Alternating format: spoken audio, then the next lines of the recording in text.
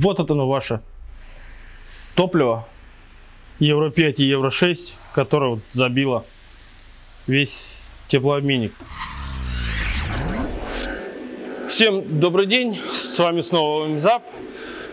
Сегодня у нас очередное видео о Hyundai Grand Starex. А, Grand Starex 2014 года с блокировочкой, с Евро 5 двигателем. Заехал на диагностику. При включении кондиционера стало тепло, появлялся свист ремня, какие-то исходили странные звуки. Также вставала в аварийный режим, пропадала тяга по клапану EGR, жалобы на течь масла. И якобы зимой, заодно тут вспомнил, что зимой она заводилась плохо.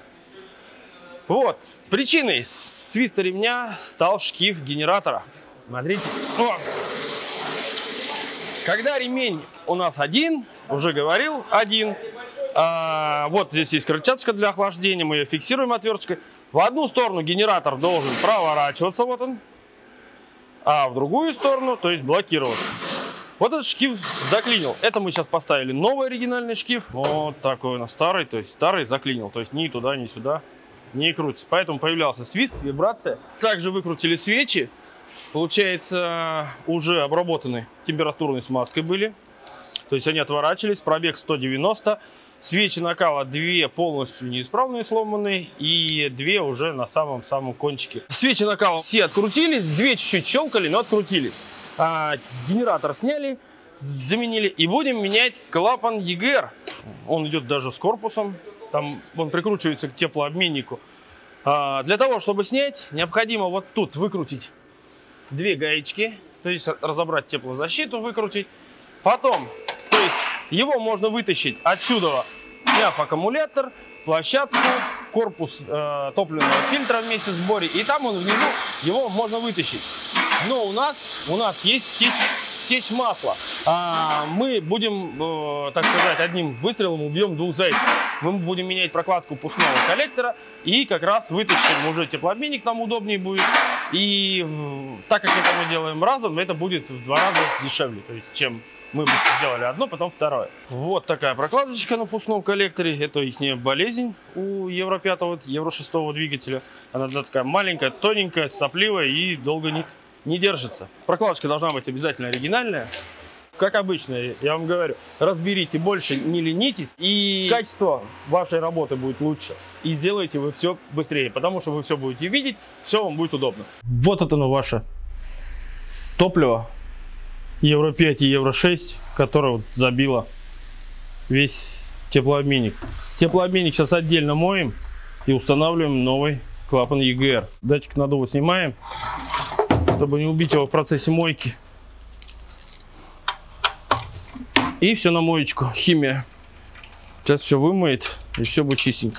По поводу клапана EGR, глушители оставлять. Очень много сторонников, те, кто хотят заглушить, или те, кто хотят оставить, делятся 50 на 50. Данная модель после 2012 года, этот клапан смело отрабатывает там свои 100-200 тысяч.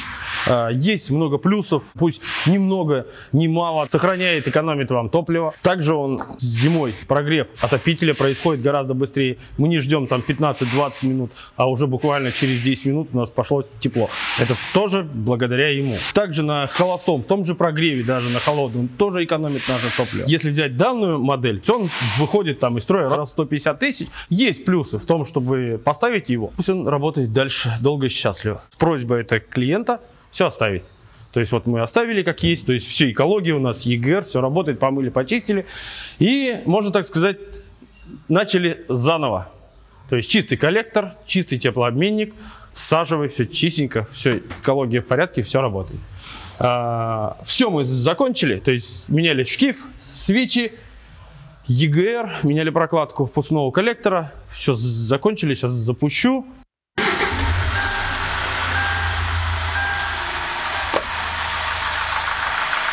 Ну вот, работает хорошо, мягенько, так как он должен, как положено.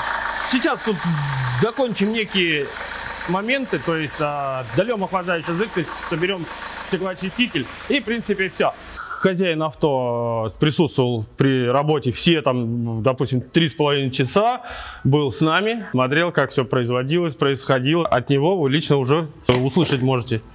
То есть Хочу его... отметить механик Анатолий, как очень качественного работника, произвел всю работу очень грамотно, качественно, э, все делал последовательно, э, знает свою работу. Осталось только его поблагодарить. Спасибо, Анатолий. Угу. Рад был. И вам, вам и вам спасибо. И очень доволен работой. Ну вот на этой счастливой ноте заканчиваем мы нашу работу. То есть наше видео, сами в принципе все видели. Не стесняйтесь, не спрашивайте, когда общаетесь здесь со мной, вы всегда можете присутствовать рядом со мной. И этому не стесняйтесь, спрашивайте, все сделаем, все подскажем. И всем пока, до новых встреч.